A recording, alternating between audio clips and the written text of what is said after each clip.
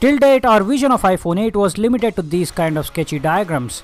But now, a series of leaked photographs of a dummy unit of iPhone 8 is revealing what is confirmed as the final design of iPhone 8. So let's analyze the design and see what it's made of.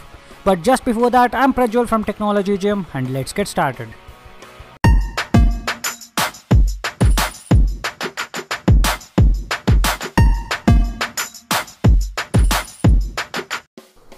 Welcome back technology lovers, hope you're all having a great time.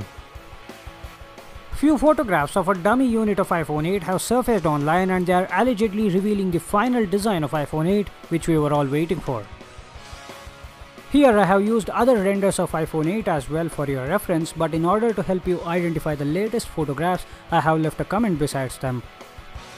As per the report, this dummy unit of iPhone 8 is built using parts and components that the actual device will sport.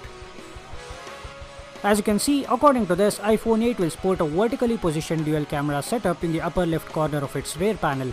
The volume rocker is on the left and the power button is on the right side of the handset which is common in Apple phones. As expected, the front of the phone will have no home button at all and the fingerprint sensor is going to be implemented under the screen. You can also see that the front is covered by a glass with 2.5D curved edges and the panel underneath it is reportedly OLED instead of LCD.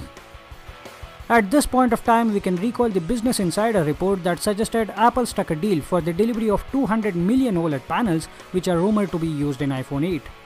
If you look at the bottom of the phone, there's no 3.5mm audio jack, which is not at all surprising, but the speaker grills are accompanied by a lightning port. Interestingly, we can see a metallic rim around the device, which reminded me of the old iPhone 4 and 4S design.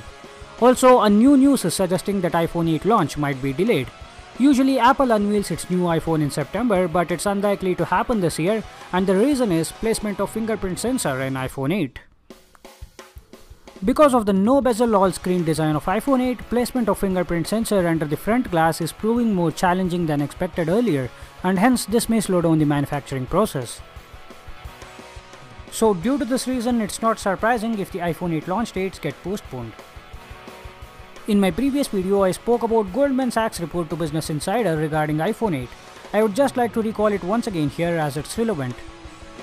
According to Goldman Sachs, the starting price of iPhone 8 will be $999 and adding in the sales tax it will easily cross $1000 and most importantly there will be no 64GB option. iPhone 8 will come out in 128GB and 256GB variants and they will be priced at $999 and $1099 respectively. Also, iPhone 7s and iPhone 7s Plus which are incremental updates of iPhone 7 are expected to be unveiled along with iPhone 8.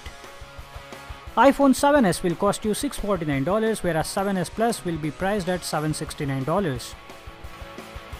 And just to touch base on the currently known specifications of iPhone 8, it's expected to sport a massive 5.8 inch OLED display with biometric authentication and an advanced A11 chipset.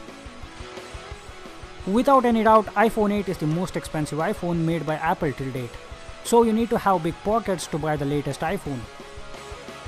Would you be interested in buying the most advanced and the most expensive iPhone? Let me know your thoughts and opinions in the comment section below. Also, please consider subscribing to my channel guys because I bring the latest leaks, rumors and official news from the world of technology on a daily basis.